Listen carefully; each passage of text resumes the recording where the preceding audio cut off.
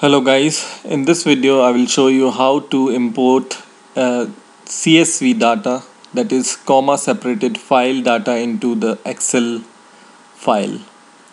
So first of all go to your start button and open Microsoft Excel. It can be Microsoft Excel 2007 but you can also use uh, Microsoft Excel 2010 in the same way.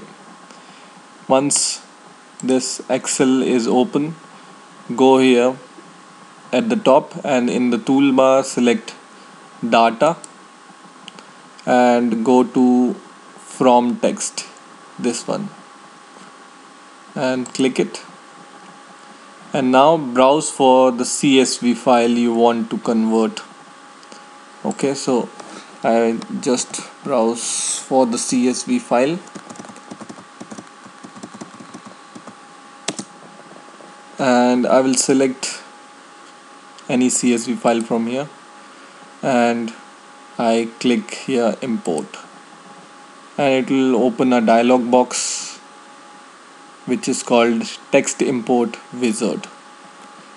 So make sure delimited this radio button is checked here and then click next.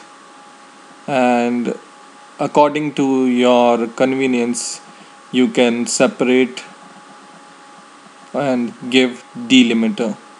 So comma separated file are generally separated by commas. That's why I will trick this comma and I will remove this tab from here and then I will press next. And you see your data is showing in different columns.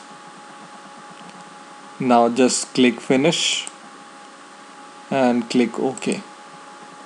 And you will see your comma separated files are now separated in columns and you can now analyze in the excel sheet your comma separated files so i hope you have learned something new this time. Please rate comment and subscribe and bye for now